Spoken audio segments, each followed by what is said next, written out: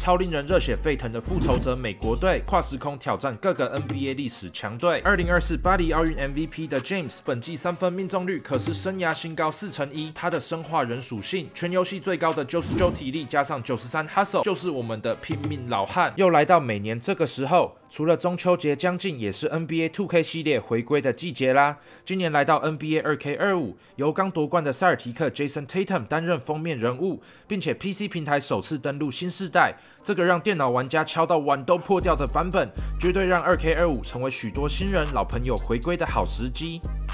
要让 Scare Get 退，这两天下载游戏抢先试了几把，最爽的应该就是能操控这届奥运超令人热血沸腾的复仇者美国队，亲自用詹杜克连线跨时空挑战各个 NBA 历史强队。这个周末也是朋友约了，老麦叫了，准备要沉浸在 NBA 2K 的世界中。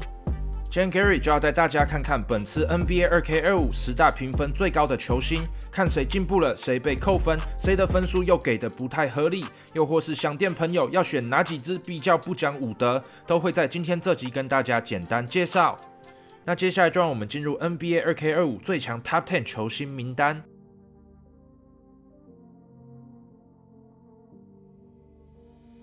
现代神兽 Anthony Davis 在游戏中同样是数值怪物，能里能外的得分能力，加上禁区优质防守，火锅篮板一把罩，是当今湖人的重要支柱。AD 最令人担忧的大概还是受伤频率，毕竟他老哥 2K 操控自己都能够碰到伤势。只见 AD 从傻眼到无奈的笑，只能说游戏的逼真程度已经太写实。上一季场均二十四点七分、十二点六篮板、二点三火锅，入选年度第二队、最佳防守第一队。初赛场次七十六场，还是生涯新高，并且在季后赛让大家看到他有多扛。AD 打出最健康的一季，果然还是好强。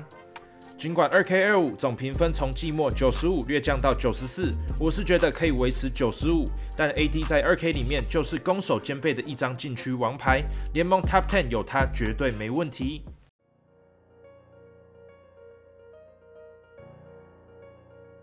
今年高龄三十五岁的篮球死神 Kevin Durant，二 K 二四总评九十六分，今年下降两分来到九十四。上个赛季场均二十七点一分、六点六篮板、五助攻，毋庸置疑依然是联盟最顶尖的得分手。KD 季末也成功入选年度第二队，并在奥运舞台秀了几手死神关键的宰制能力。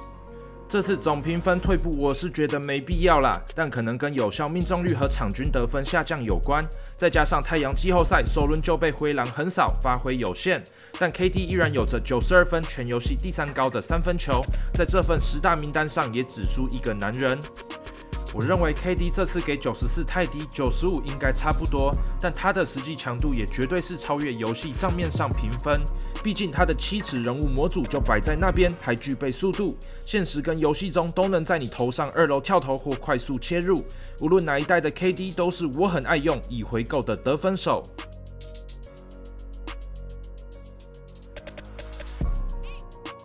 二零二四绝对是 Jason Tatum 丰收的一年，生涯第七季与 Jalen Brown 的双探花组合，挺过众多质疑和批评，喊拆声浪，终于拿下 NBA 年度总冠军。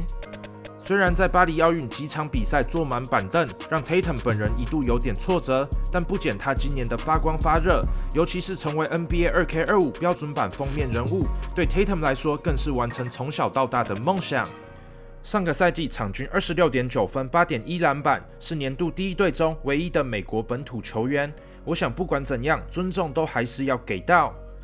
然而，Tatum 尽管有封面加上冠军和金牌加持，总评却从去年季末九十六降到九十五。我觉得下手重了，应该是可以维持的。只能说今年二 K 老师真的非常严格。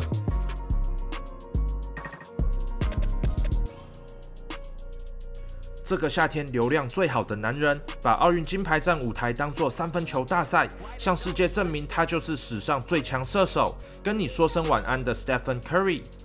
今年总评从二 K 二四季出九十六降到九十五，我觉得合理，可能是反映场均得分从二十九降到二十六，篮板和助攻数据略降，加上勇士没打进季后赛，但以 Curry 三十五岁的年纪来说，还是足够威猛了。本季获选最佳关键球员奖的 Step，在最后五分钟还有五分差的比赛中，以四成五三分命中率拿下联盟第一的一百八十九分。而在奥运，Curry 也再次证明，关键时刻把球给他就对了。Curry 现实中能做到的事情，反而常常是二 K 里面做不到的。我很难相信有人能在游戏里重现他对法国倒数三分钟四投四中，最后一球被包夹自己运还能投进的场景，简直是现实超越游戏的作弊存在。回到二 K 二五游戏数值，Curry 三分球九十九分，不但是全游戏最高，更大幅领先第二名 Grayson Allen 九十三分，第三名 KD 九十二分，以及前浪花兄弟 Clay 八十九分。运球方面则是九十七只输给九十九分的 Irving。能用 Curry 在游戏里面狂投三分就是舒服。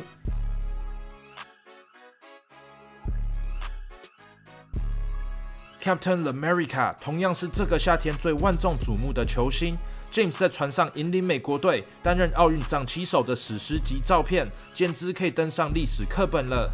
拿下2024巴黎奥运 MVP 的 James，上个赛季场均25.7分、7.3篮板、8.3助攻。39岁老汉依然是顶尖好汉一条，也入选年度第三队，更带着不减的斗志迈入生涯第二十一季。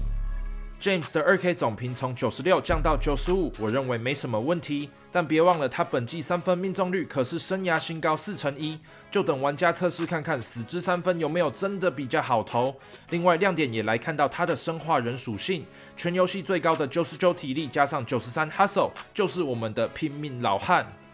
讲那么多，这次二 K 二五最令人期待的，还不是能够操控我们 James 父子档？让九十五分的 LeBron 跟六十八分的 Brownie 来一个感动一百分的空抛连线，那画面肯定是最美。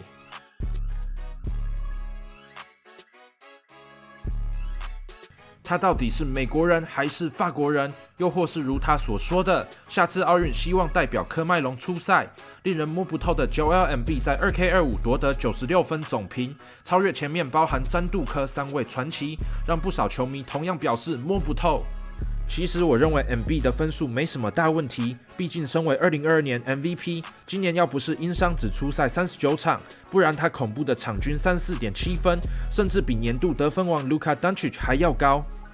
M B 拥有最强的九十三分禁区进攻能力，加上外线得分也有一手。二 K 确实有重现他出色的面框载智力，但我们要知道的是，金比场均十一点六次罚球同样是联盟第一。这九十六总评就不知道有没有包含买饭能力，不然我会想斟酌扣个一分，因为犯规确实是玩家比较无法操控的部分。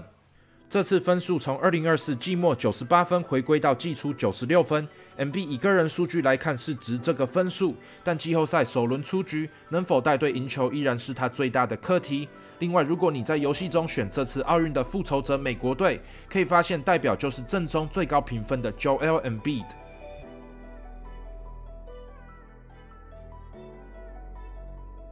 二零二四年度 MVP 第二高票，场均三十点一分、六点二助攻的 Shea Gilgeous-Alexander，以新任雷帝之姿带领雷霆拿下西区第一的战绩，总评绝对配得上联盟前四的九十六分。身为新一代进攻大师，SGA 精通各种脚步搭配和跳投技术，他也是过去几季的联盟切入王，出手和传球 IQ 都高达九十八分，在 NBA 2K 中就看你怎么发挥他的武器库。而作为后卫的 SGA 防守高达八十二，场均两超节加上一双长臂，是进攻两端都非常强大的一位球员。二零二四季初只有九十三分的他，用场上表现证明自己属于 MVP 层级。这次总评提升三分，也是 Top Ten 球员中进步最多的。如果今年能再次打出 MVP 等级表现，我想分数很有可能来到九十七以上。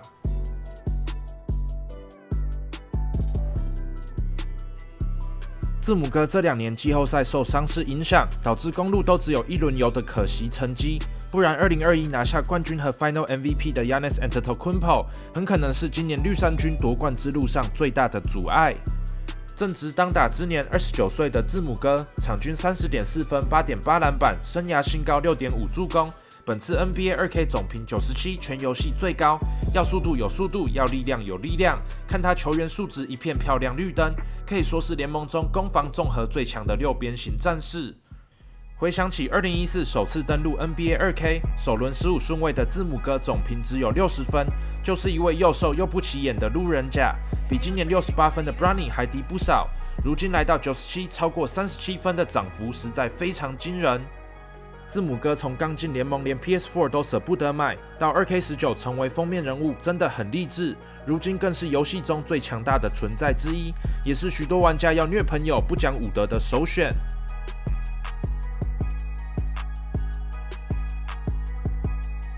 关于欧洲金童 Luka Doncic，我们对他的怪物数据早已习以为常。如今在 NBA 生涯第六个赛季，终于带领达拉斯独行侠打进冠军赛。虽然落败，但宝贵经验绝对让 Doncic 成长许多。本季场均三三点九分、九点八助攻、九点二篮板，拿下联盟得分王，并且连续五年入选年度第一队。二十五岁的 Doncic 有着无限可能性，只要站上球场就是防守者噩梦。你永远不会知道他会给你来颗后撤步三分球，还是精准导传给队友。二 K 二五总评来到全游戏最高的九十七分，比上一季季初九十五还要高两分。拥有全联盟最高的 Playmaking 总评价九四，传球精准和 IQ 九八，视野九七，运球九五，真的是最可怕的进攻发动机。另外 d u n c i 还配有两枚名人堂徽章，神射手让他就算被贴上防守还是能飙进，Shifty Shooter 则是让他能在运球后无缝接轨高难度跳投，重现现实中的夸张进球。就看你能不能用 d u n c i 在游戏中重演今年一月轰下单场七十三分的名场面了。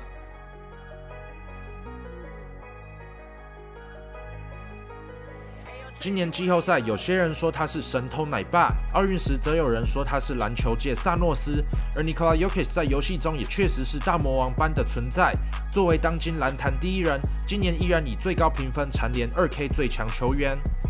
尽管相较去年傲视群雄的九十八分，Yokish 在二 K 二五总评稍微降到九十七，应该是受到季后赛止步二轮的影响。但顶尖的场均二十六点四分、十二点四篮板、九点五助攻，加上今年 MVP 得主光环的加成，Yokish 拿九十七分绝对毋庸置疑。虽然机体本身不是那么强大，但 Yokic 配备五枚名人堂徽章，十美分增加队友接获传球后的命中率，精准抛投重现他无解的手感。禁区神来比和背筐单打诗人，都让 Yokic 在禁区更加势不可挡。而奇巧智力王则展现他传小球和空抛的能力，每一个徽章都让 Yokic 像在现实中一样棘手。